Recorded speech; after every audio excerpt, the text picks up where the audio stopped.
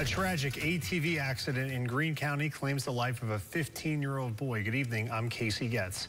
Deputies say Braxton Wilhoit was traveling near his home on Flag Branch Road in Greeneville when he lost control and overturned. Wilhoit was a student at South Greene High School. News 5's Kylie Hill was at a vigil tonight for Wilhoit and learns more about who he was. The South Greene High School football field filled with people wearing blue. 15 year old Braxton Wilhoit's favorite color. He passed away after a tragic ATV accident Tuesday afternoon. Dude, life is precious, life is short. Let's hug all these kids every night and tell them how much we love them.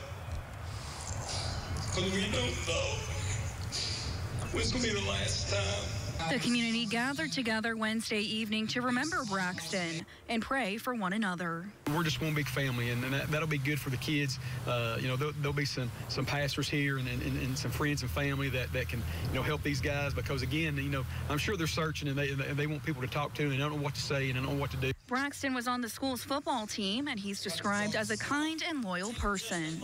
Very bright kid, um, very good kid. Uh, we first moved in over there, and they were the first kids that we met, Braxton and Brady. Very nice people. Um, taught my sons about baseball, football. He was just so much fun, and um, he loved deeply. He liked to have a good time. Um, just an all-around great kid. He's the kind of kid, you know, everybody wants to have around.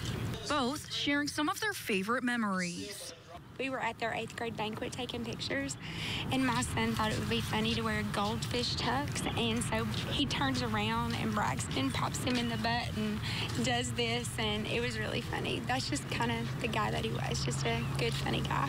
Yeah, they would go out, toss the football, um, toss the baseball, jump on the trampoline and stuff. So it was it was neat to see them. Counselors will be at the school from 12 to 4 p.m. Thursday and Friday. Reporting in Greeneville, I'm Kylie Hill.